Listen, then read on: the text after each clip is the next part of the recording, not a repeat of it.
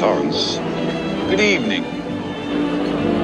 Cause food's a little funny at the Clown Cafe. Why not visit after school? Did you do that? and have yourselves a bite. An appetizing appetizer certain to delight. We haven't done it right unless it Quid pro quo, Doctor. Billy is not a real transsexual, but he thinks he is. He tries to be. He's tried to be a lot of things, I expect. Now, you said that I was very close to the way we would catch him. What did you mean, Doctor? makes your teeth decay. Cause food's a little funny at the Clown Cafe.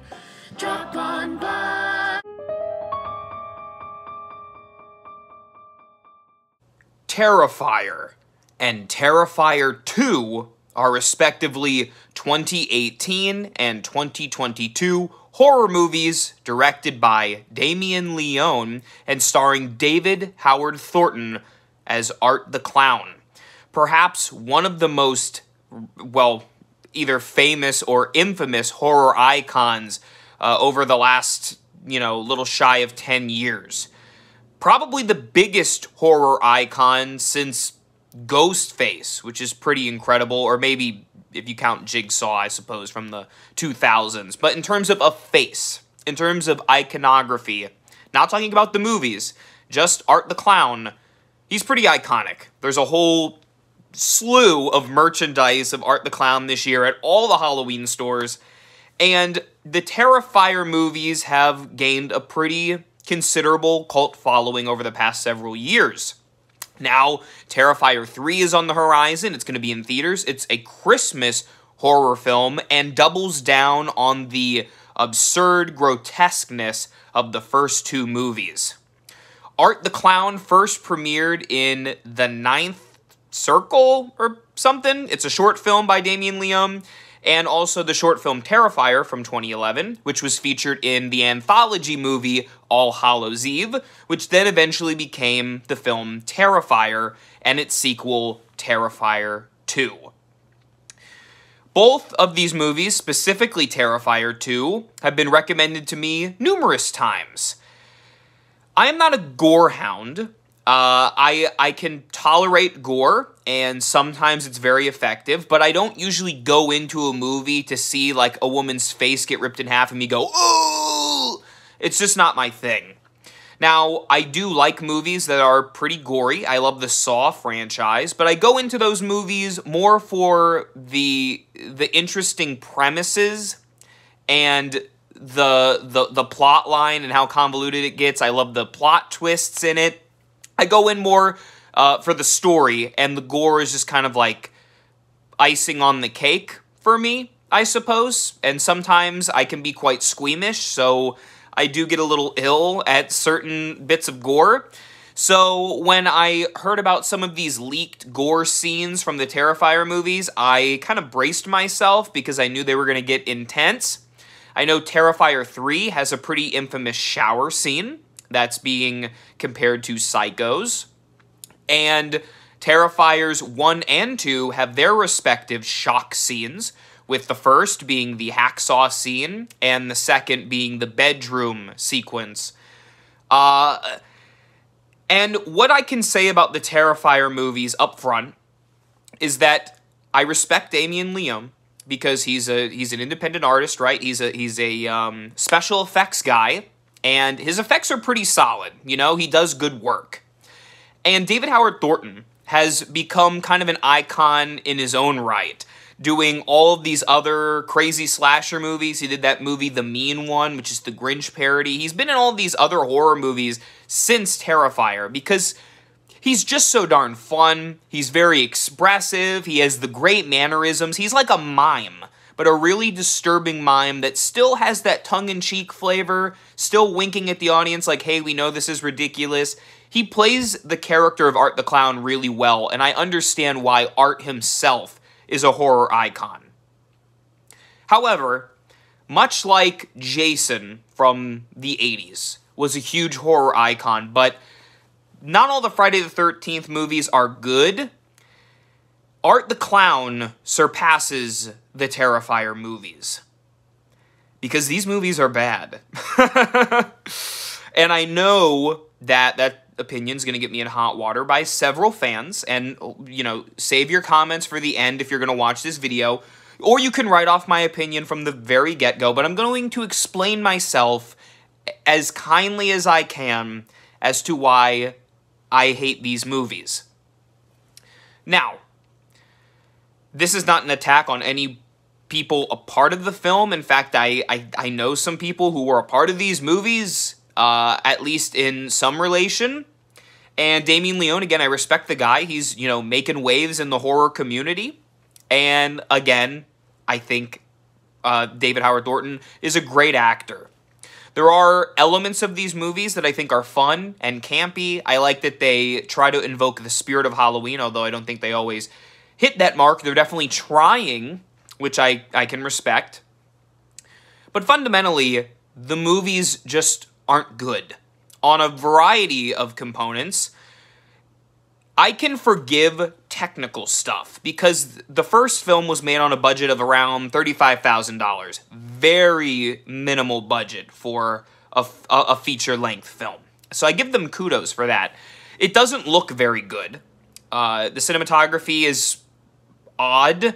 There are a few shots that I liked. There are too many garish lighting choices. It's very blasted and the color correction is is kind of funky. It looks like they put an iMovie filter over the whole movie. Thanks. What the hell is wrong with you? What, did you think he was gonna hack me up into little pieces or something? What can I get for you, buddy? Hey. But uh, again, I can look past technical components, even for Terrifier 2, which increased that budget. I think it's like I don't know if it was half a million or a quarter million or whatever it was, but it was considerably more. Terrifier 3's budget is, I think, like two or three mil, so they definitely kept upping it. But the first two films, they don't look the best, but I can I can look past that.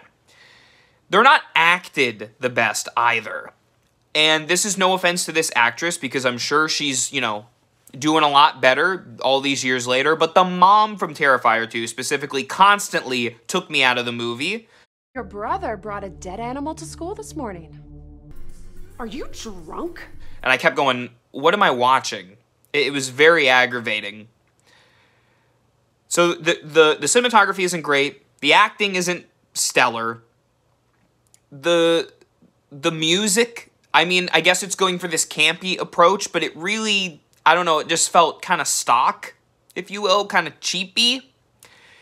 And then, worst of all, the characters, if you want to call them that, and the story, if you want to call it that. Slasher movies have had a history of never really being super plot thick. You know, there's a killer and they try to kill people. Even if you go back to Halloween or Black Christmas, they're not the most crazy plots, but at least they have a few characters that you latch on to and you care and you want to see what happens to them. There's suspense because you're you're afraid for their safety. Okay? That's usually how it goes. The Terrifier movies they have lore, but they don't have a story.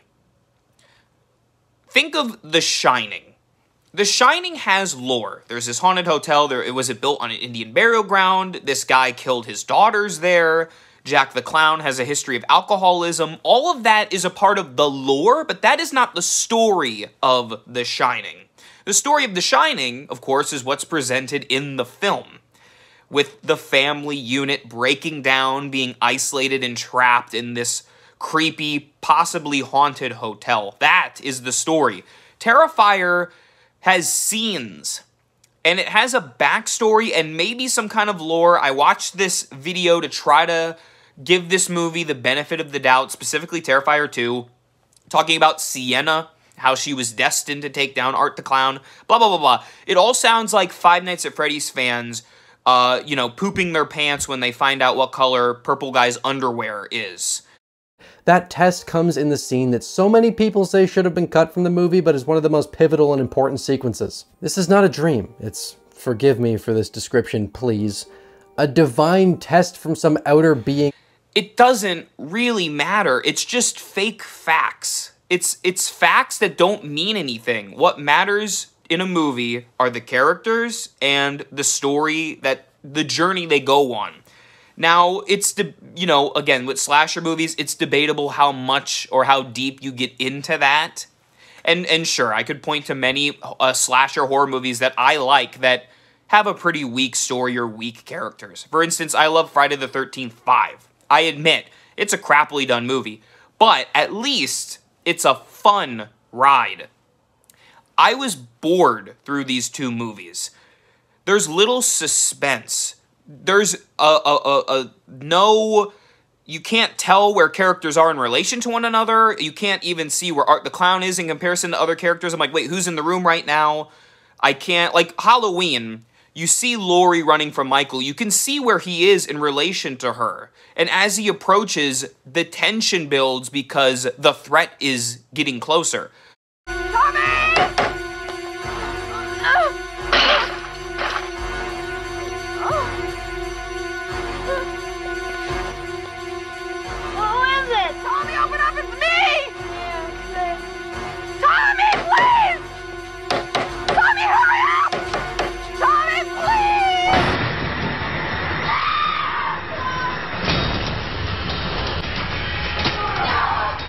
Didn't know where Art the Clown was throughout the majority of these movies. He shows up, sometimes he does a silly gag, sometimes he has this brutal kill scene. I suppose that's to make him uh, like a surprise killer, but it just didn't work for me. And I know there are a lot of fans that love these movies, and I don't want to take away your enjoyment of the film because that's the great thing about movies, right? They're subjective. But when I see so many people praising this movie up the wazoo and Art the Clown, I wonder if they actually care about the film itself or that Art the Clown is a bad A and that he kills people really grotesquely. It reminds me of the hype for Megan. Megan wasn't a great movie, but Megan, the character, was different, had an interesting character design. But it goes back to like Jeff the Killer. Not a good story, but Jeff the Killer's kind of cool because he has a knife and a hoodie, I guess, and that makes him special? Didn't work for me. Uh, and I know a lot of people go, well, Sienna's a great final girl. How? What is her character? What does she do to prove herself? She gets whipped in the back a few times and then pushes Art the Clown over. It it didn't earn that status to me. And every scene before even meeting Art the Clown, the characters only discuss Art the Clown. That's all there is to their lives. Oh, did you hear about that killer? Art the Clown, Art the Clown. That's it. There's no there's nothing else. If you can tell I'm getting frustrated by this, well, you'd be right. But I, I, I have to say that I think the reason that I do get frustrated is because ever since I was a kid, the horror genre has meant a lot to me, whether that be through short stories or movies or books or whatever. Even just Halloween itself, it matters clearly a lot to me. When I see things that are so popular for the wrong reasons, it rubs me the wrong way. And it makes me upset. Like Smile. Stupid Smiley movie got so popular for all the wrong reasons. And then I see films that are so good, like The Substance that just came out. No one cares. Hardly. There are people that care, I take that back. But in the public eye, very few people know about this movie or watch it, but everyone knows about Art the Clown. And it just aggravates me. yeah. I actually think this is crazy. I prefer Terrifier 1 over 2. Yes, it's more poorly made, but at least it doesn't waste my time. Terrifier 2 being 2 hours and 20 minutes longer than The Exorcist and Rosemary's Frickin' Baby is absurd, frankly. So many scenes are drawn out for no reason, not even to pad uh, suspense or anything, like a John Carpenter movie might elongate sequences to, to invoke dread. There's none of that. There are scenes where Sienna goes to school and talks to her friends, but it's not to build any sort of relationship or character. It's just to talk about the lore or to talk about this notebook and. Uh, and yes, there are some good kill sequences, sure. The bedroom scene, very shocking. The hacksaw scene, also very shocking, and I have no doubt that Terrifier 3 will have even more grotesque blood and guts. But is it worth it? The original Halloween, which might be the best slasher movie ever, or Black Christmas, throw it in there as well, they hardly have any blood or guts. They rely on tension and suspense, the feelings of dread, and the inevitability that the killer will find you. Despite Art the Clown having these crazy creative gimmicks to kill people with, I it didn't scare me. It's gross, but it's not scary. And it's it honestly is just kind of sad, you know, just to see these random people just getting killed. But there's no emotion to it. I don't know anything about these characters. It's more or less the actor or actress getting their face sawed off. And yes, the Saw movies don't give a lot of in depth into their characters, but we at least get little nuggets of their personalities. I really didn't get to know anything about anybody here. Uh, well, I'm glad I watched the Terrifier movies, so I don't have to watch them again. And I don't know if I'm going to be seeing Terrifier 3, because I'm probably going to feel the same way as I did the other two. If people are saying that Terrifier 2 is better than Terrifier 3, and I like Terrifier 1 more than Terrifier 2, and I didn't like Terrifier 1, we're in for a bad time. What I can say is, Damien Leone I respect you. You're doing your craft. You know, you're doing your great effects. You made a horror icon out of David Howard Thornton's Art the Clown, which is very commendable. But please, if there's someone who has the passion to write a better story, more interest, intricate characters, please let them fulfill their passion in the same way you have been able to fulfill yours. I'm sorry. I'm going to give Terrifier 2 a 1 and Terrifier 1 a 1.5. That was a weird way of grading it. Point is, both of these movies are not very good, in my opinion. But opinions, they're like butts. Everybody has one. It doesn't mean you have to look at mine. So there you go. If you love these movies, I'm happy for you. I don't go into movies trying to hate them. I don't like being a negative Nelly. I I wanted to champion this movie because it's so popular. It's getting horror out there and it is in some ways pushing the boundaries of the genre, which is commendable. I just think it's pushing the boundaries in one direction but failing on a lot of other fronts. For instance, a song might have a really great drum line. You go, "Wow, oh, that, that drum beat goes hard. That's a good drum beat. But the guitar, the vocals, the synth, it all sucks. That's Terrifier. Art the Clown's great and the gore, but the characters, the story, the cinematography, the acting, it all is missing. And I can't praise a movie highly because of that. And some might say, well, just turn your brain off and enjoy the movie. If you turn your brain off, then you miss the intricacies of the movie going experience. I can have my brain on or off while watching a movie like Killer Clowns from Outer Space, and I enjoy it either way because it's still a well made, fun movie and it's dumb. I didn't feel like Terrifier or Terrifier 2 earned either of those titles. Well, there you go. My negative rant on the Terrifier movies. Yeah, I know, it's a shame. But hey, if you like them, great. I don't. Remember, for all things Halloween, this is Haunt Former. Drop on by the Clown Cafe. Drop on by the Clown